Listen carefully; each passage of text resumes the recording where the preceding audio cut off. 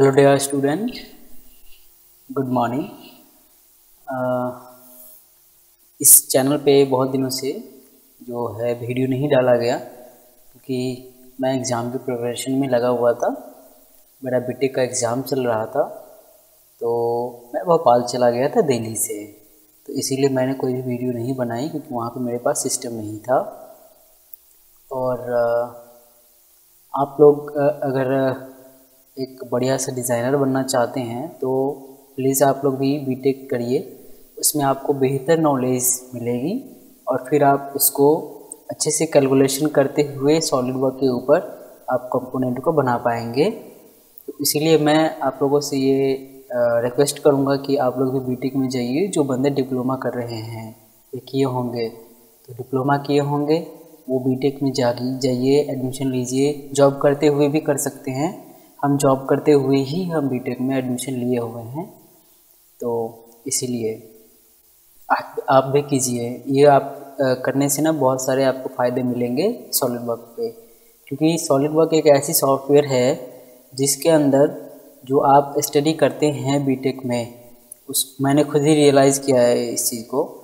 तो जो भी आप स्टडी करते हैं उस साड़े को आप यहाँ पे आकर के अप्लाई कर सकते हैं। अब जो भी कोई भी पार्ट डिज़ाइन करना होगा तो आपको उस कैलकुलेशन की ज़रूरत होगी। और जो एक वेल डिज़ाइन जो होते हैं, एक कैलकुलेटेड डिज़ाइन होता है तो वो काफ़ी बढ़िया होता है। तो इसीलिए हम छोटे छोटे आपको पार्ट्स बना करके दिखा रहे हैं, कैसे बनाना है।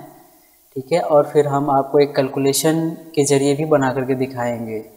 जैसे गियर्स बनाना है तो उसमें हम कैसे एक्चुअल कैलकुलेशन कर सकते हैं गियर्स का विथ फार्मूला तो इसीलिए आप जो है, हमारे चैनल पर बने रहिए और इस वीडियो को पूरा देखिए, देखने की कोशिश कीजिए।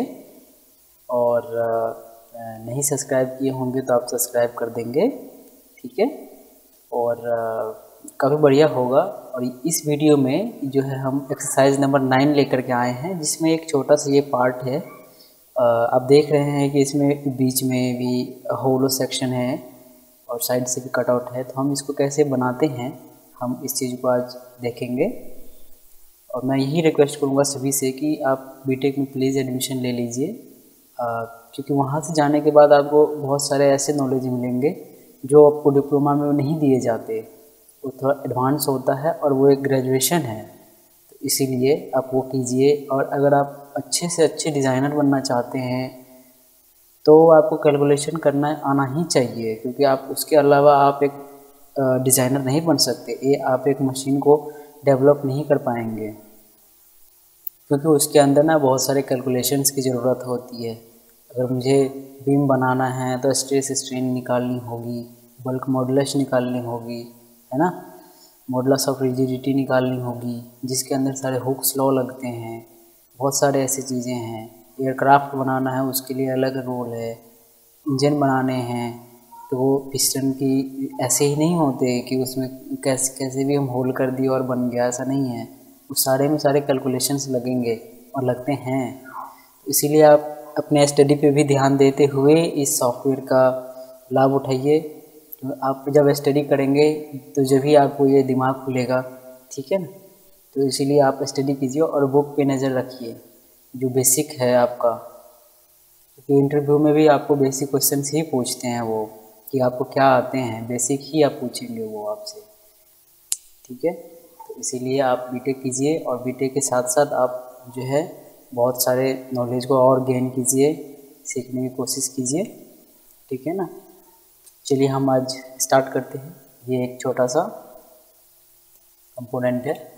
और इस कंपोनेंट का जो ड्राइंग है, वो ये है, जो मैंने बनाया है। ये R L D CAD tutorial ये लेआउट है हमारा, ठीक है? चलिए हम बनाते हैं। इसमें आप देखेंगे ये आइसोमेट्रिक व्यू है, ठीक है? ये राइट साइड व्यू है फ्रंट व्यू टॉप व्यू और ये बॉटम व्यू है मैंने सारे व्यू बनाए हैं। और ये थर्ड एंगल प्रोजेक्शन में है। हम आपको थर्ड एंगल प्रोजेक्शन भी बताएँगे स्लोली स्लोली ठीक है? जब हम प्रोजेक्शन बताएँगे तब।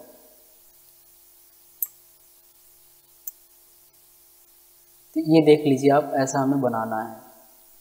इसका यूज़ करके, ठीक है? चलते हैं।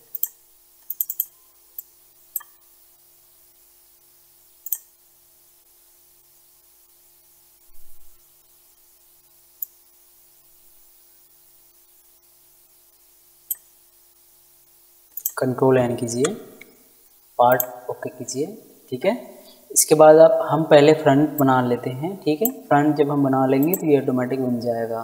तो सबसे पहले हम प्लेन सिलेक्ट करते हैं और ये कुछ ऐसा स्केच बनाते हैं फ्रंट से, ठीक है? हम यहाँ से स्टार्ट कर लेंगे।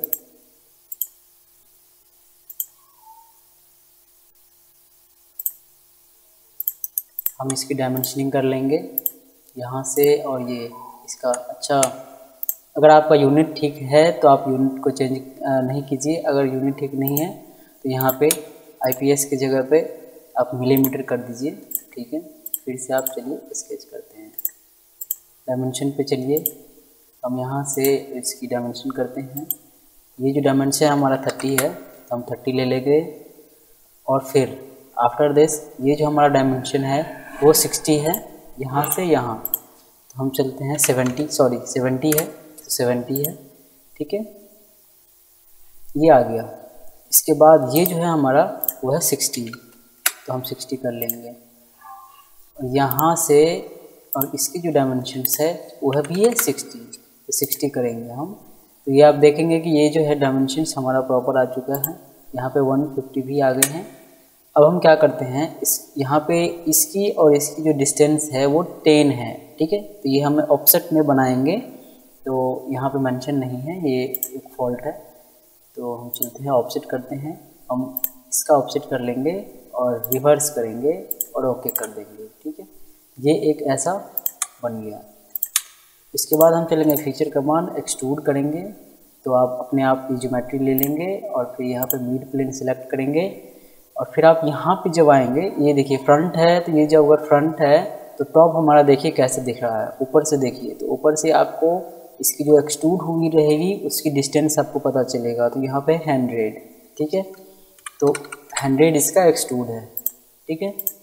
ऐसा बन गया, ठीक है? अब इसके बाद जो है, हमारा ये टॉप से आप देखेंगे, ये एक कटआउट बना हुआ है, यहाँ पे, ठीक है? ये ये हमें कटआउट बनाना है। तो टॉप प्लेन पे है, ठीक है? अब नीचे भी आएँगे तो ये देखेंगे कि हंड्रेड यहाँ से यहाँ डिस्टेंस है और ये कटआउट है। मतलब ये थ्रू ऑल कटआउट है। ठीक है ना? ये थ्रू ऑल कटआउट है, जो कि टॉप से बॉटम तक का कटआउट है।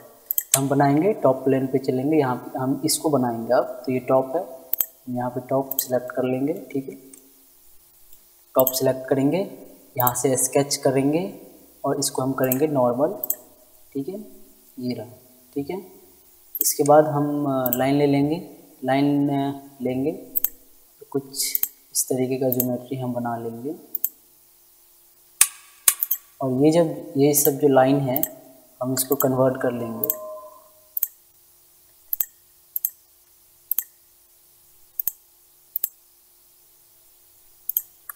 कन्वर्ट करेंगे तो ये जो है आ, सारा ऑटोमेटिक आपका हाईलाइट हो जाएगा। अगर आपको ये कन्वर्ट करना नहीं आता है तो आप, हमारा जो है, पिछला जो ट्यूटोरियल वीडियो है, आप वो देखिए। हम उसमें ये टूल्स बताए हैं कि हम किस तरीके से टूल्स का यूज़ करते हैं। अब देखेंगे ये हाईलाइट हो चुका है, ठीक है? हम अब इसमें डायमेंशनिंग कर लेंगे। यहाँ से यहाँ का जो डिस्टेंस है, वो हंड्रेड है। अब ये देखेंगे यहाँ पे, ठीक है? इसके बाद जो है, हमें मिडिल का जो, ये बीच का जो डिस्टेंस है, वो सिक्सटी रखनी है। और ये ट्वेंटी है और ये भी ट्वेंटी है। तो हम यहाँ से ऐसे ट्वेंटी कर सकते हैं या नहीं तो इसका एक ज़रिया है।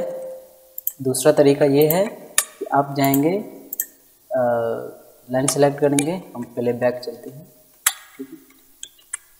ठीक है। अब यहाँ पे आप जाएँगे आ, इसको सिक्सटी कर लेते हैं। सिक्सटी ठीक है। अब यहाँ पे जाएँगे सेंटर लाइन ले लेंगे और सेंटर लाइन यहाँ की जो सेंटर है ये और इसकी जो लाइन है हमारा सिक्सटी का, उसका मिड पॉइंट को सिलेक्ट करके इसको हॉरिजेंटल कर लेंगे। ये भी एक तरीका है इसको टिक करने का। अब आप यहाँ पे एक ज्योमेट्री बन चुकी है। अब इसको हम करते हैं एक्सट्रूड कट और एक्सट्रूड कट करेंगे हम टॉप टू बॉटम तो इसीलिए हम इसमें थ्रू वॉल कट करेंगे, ताकि ये टॉप टू बॉटम कट कर देंगे। ठीक है? तो ये ऐसा बन जाएगा। ठीक है? आप देखेंगे कि जैसा ही, अब आप इसमें एक चीज़ चेक कर सकते हैं कि हम, हमने जो बनाया वो ठीक है या नहीं है। तो आप कैसे कर सकते हैं? अब यहाँ पे व्यू सेक्शन में जाएँगे, यहाँ से टॉप टॉप लेंगे अब ये देखेंगे कि ये जो हमने बनाया था सेम सेम यहाँ पे बना हुआ है, ठीक है? व्यू सेक्शन से हम देख सकेंगे फ्रंट में देखेंगे फ्रंट में बॉटम देखेंगे तो ये बॉटम में ठीक है? तो तभी हम समझ जाएँगे कि हमारा जो ड्राइंग है वो परफेक्टली है। अभी देखेंगे एसोमेट्रिक है। ठीक है? तो ये था आज के लिए। ठीक है? आई होप कि आपको ठीक लगा होगा। और प्लीज़ जो मैंने कहा आपको, उस पर आप अमल कीजिए तो ज़्यादा बढ़िया होगा। एक आप प्रोफेशनल डिज़ाइनर के लिए। ठीक है? चलिए, आज की वीडियो में इतना ही। और अब जो है आपको प्रॉपर वीडियो मिलते रहेंगे डे बाय डे चलिए।